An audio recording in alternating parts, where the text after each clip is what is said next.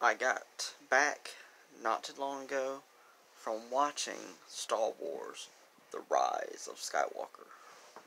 Is it good? That is the question. This video will contain spoilers, so if you do not want to know, then please do not continue watching this video. I am Aqland. If you enjoy my content, please hit the subscribe button, like button, also share with friends who don't mind. So please comment, ask me a question, or comment in general. I'll do my best to answer them. Also, if you don't mind, hit the notification bell down below, and you'll be notified when I go live or upload another video. Alright, uh, the movie pretty much started off with, um, Rey, um, well, it, it did start off somewhere else, but it pretty much started off with Rey, uh, training, and her master is Leia, or Ghana. Excuse me. So she was training in the forest and all that, and it was amazing. Rey was like hovering off of the ground, and rocks was swirling around her. It was amazing.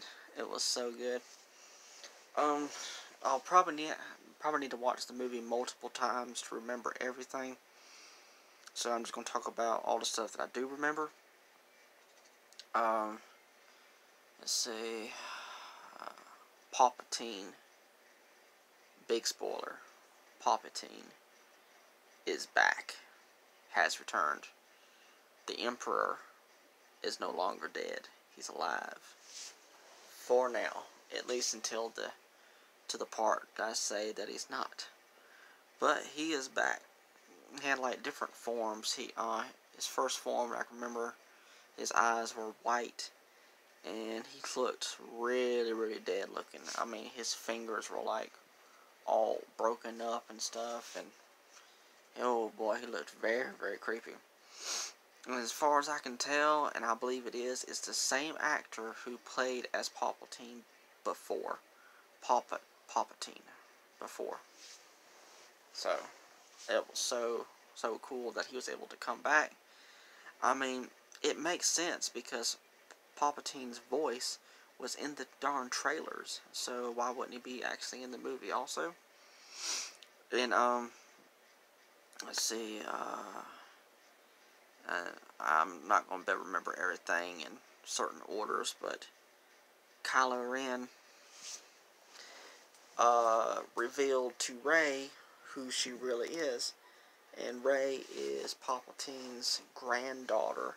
So she is Rey Palpatine instead of Rey Skywalker. But at the, the end of the film, she did call herself Skywalker, but but she's really uh, Rey Palpatine.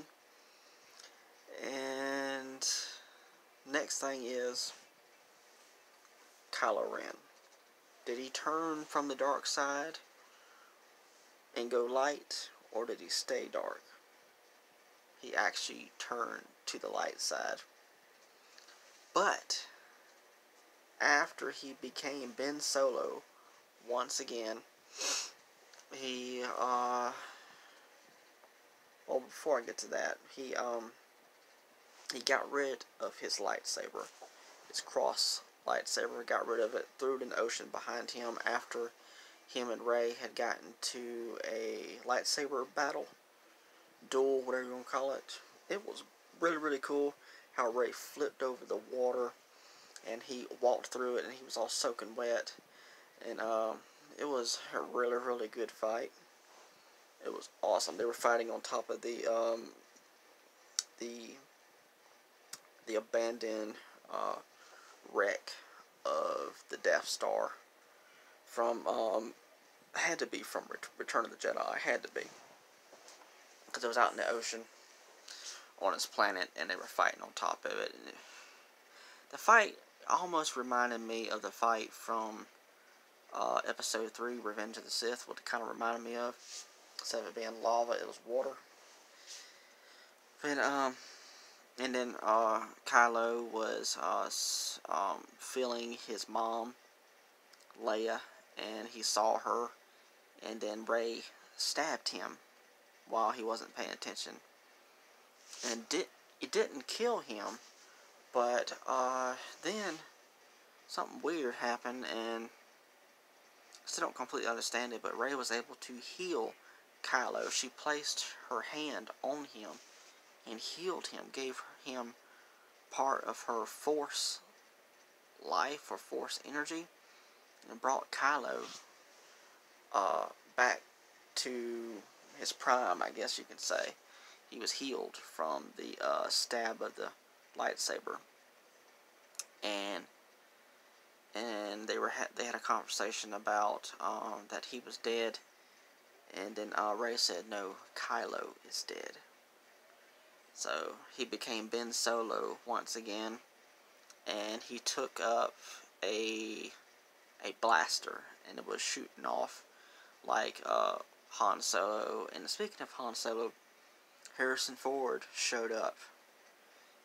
He's supposed to be like a memory, but he was able to actually physically touch Kylo, but I guess it was all in Kylo's mind. So Harrison Ford returned as Han Solo. It was awesome. It was so cool. So, so cool. And uh, moving on to something else. Um, they really messed with our e- emotions a little bit. Um, we thought Chewie got killed. Chewbacca.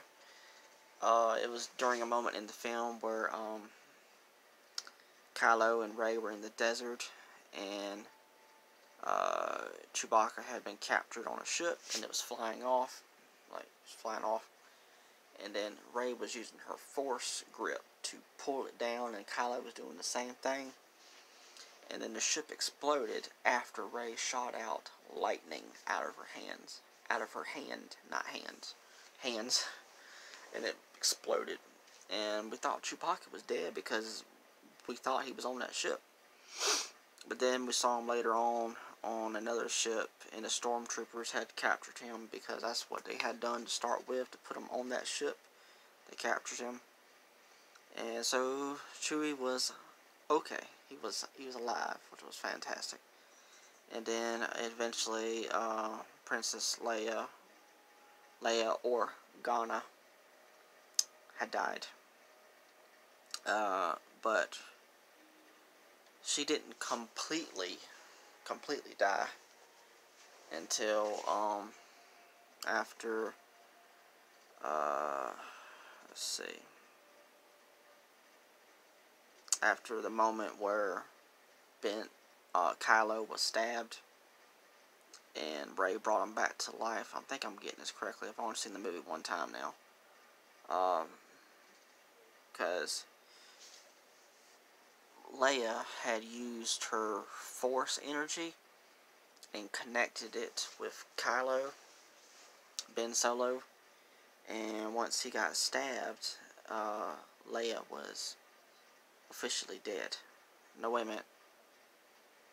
No, I'm getting it. I'm I'm getting it all. I'm getting it all messed up. I'm so sorry. Um, later on at the end of the movie, um, after uh, Rey and Palpatine uh, had a fight, uh, he was using his Force energy, and she was she was blocking it with the lightsaber. And let's see and I'm trying to get it all together. And not not not notice a big big mess. Um, I guess I better get to this part before I talk about the rest of that.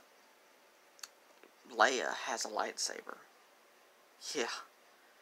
So she is basically a Jedi, almost basically.